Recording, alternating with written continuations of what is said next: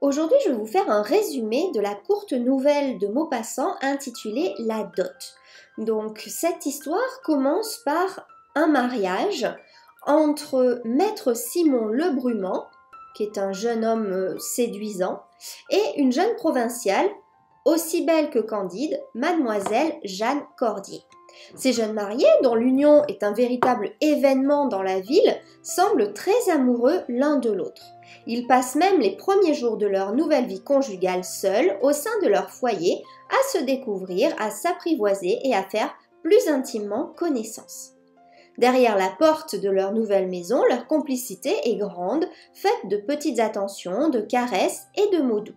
Quant à leur relation, elle semble pleine de confiance et cependant, au bout d'une semaine, Monsieur le Brumant propose à sa femme de faire un voyage à Paris afin de continuer encore un peu leur lune de miel, mais aussi de finaliser, pour son bénéfice, l'achat d'une étude de notaire auprès d'un certain maître papillon.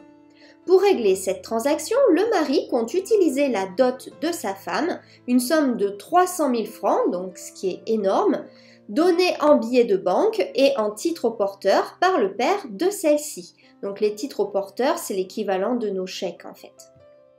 Confiante et ravie de partager cette aventure avec lui, la toute nouvelle Madame le Brumant accepte avec un très grand enthousiasme. Le jour du départ, les beaux-parents accompagnent le jeune couple à la gare et au moment de remettre la dot, le beau-père s'inquiète du danger de transporter une telle somme en liquide dans un portefeuille. Mais Simon le Brumant apaise ses craintes, sûr de lui et habitué qu'il dit être par son métier à de tels agissements. Commence alors le voyage des deux époux vers Paris.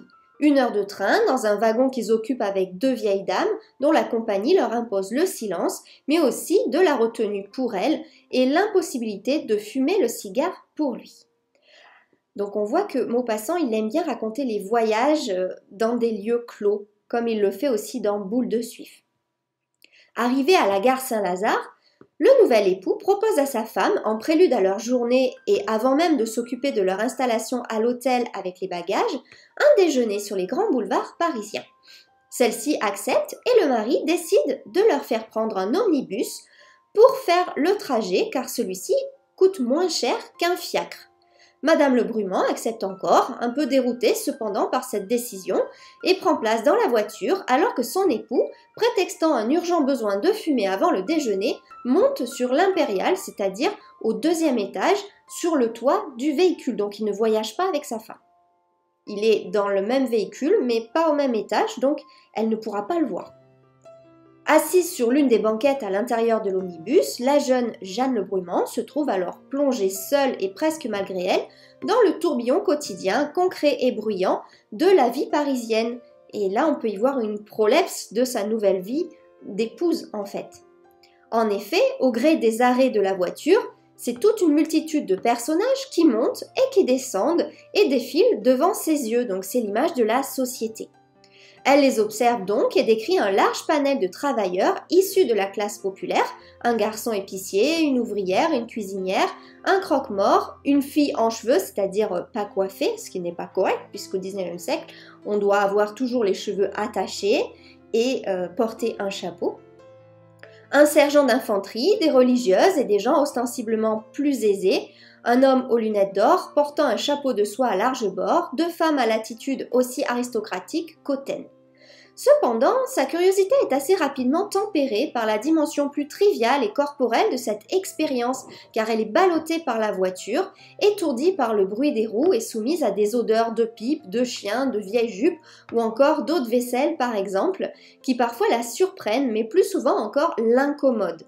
Donc, encore une fois, lorsque dans une nouvelle de Maupassant, encore une fois telle que Boule de Suif, vous avez un voyage, il faut vraiment étudier tous les voyageurs parce qu'ils sont toujours représentatifs de la société et il faut voir comment Maupassant, à travers euh, ce microcosme, euh, porte sa critique de la société. Tout compte fait, ce défilé comique, voire grotesque, finit par réellement lasser la jeune femme et par faire naître en elle un sentiment de tristesse face à l'absence de son mari, manifestement encore sur l'impérial. Toujours sans nouvelles de sa part, elle commence même à trouver que le trajet, qui pourtant devait durer environ 5 minutes en fiacre, s'éternise et la ronde des allées et venues commence désormais à attiser en elle un sentiment de désespoir confus. Donc elle comprend avant de savoir en fait ce qui se passe. Elle craint même un moment que son mari n'ait pu s'endormir terrassé par la fatigue et qu'il n'ait donc raté le moment de descendre. Finalement, l'omnibus se vide peu à peu, laissant Jeanne le Brumant seule dans la voiture, alors que le conducteur crie l'arrivée à Vaugirard, le terminus de la ligne. Ne connaissant pas Paris, la jeune femme ne comprend pas tout de suite ce qu'elle doit faire. Agacée et brusque, le conducteur lui explique alors qu'elle est obligée de descendre du véhicule, qu'elle est à présent assez loin du boulevard des Italiens, mais aussi et surtout qu'elle est la dernière passagère, donc il la met dehors en fait. Affolée, elle demande où se trouve son mari et explique très rapidement sa situation, mais ne reçoit en réponse que cruauté, cynisme et condescendance de la part du conducteur. En effet, pour le machiniste, les choses sont très claires. L'homme qui l'a vu descendre à la Madeleine avec un gros portefeuille et que Jeanne Le décrit comme son mari, l'a purement et simplement abandonné. La jeune femme, désorientée et incapable de se rendre à la même évidence, éclate en sanglots sous les yeux du conducteur et de l'inspecteur du bureau qui retournent vaquer à leurs occupations sans se soucier de l'aider. Donc on voit ici la critique de la société puisque Maupassant montre, bon, non seulement le fait que les femmes sont facilement volées et abandonnées par leurs époux, mais qu'une fois que c'est le cas, ils ne trouveront aucun soutien à l'extérieur. Les hommes n'ont aucune pitié envers les femmes, quel que soit leur statut euh, social et marital, et donc du coup, cette jeune femme, elle est complètement livrée à elle-même. Ses pleurs euh, vont plus euh, être l'objet de moqueries de la part des autres personnages plutôt que de compassion. Donc la jeune femme se souvient alors qu'elle possède une seule connaissance à Paris, un cousin nommé Henri Barral, qui est sous-chef de bureau au ministère de la Marine, et elle décide donc de se rendre en fiacre chez lui grâce à deux francs trouvés au fond de sa poche. Arrivée devant la maison, elle saute du fiacre et arrête son cousin alors qu'il partait pour son travail au ministère, un portefeuille sous le bras. Il est désemparé face à la détresse évidente de sa cousine et l'interroge inquiet sur les raisons de son trouble. Celle-ci lui explique alors que son mari, peu après leur arrivée à Paris, s'est perdu sur un omnibus, et cela alors même qu'il transportait avec lui l'intégralité de sa dot, c'est-à-dire euh, finalement tout l'argent de son père, afin de financer l'achat d'une étude notariale.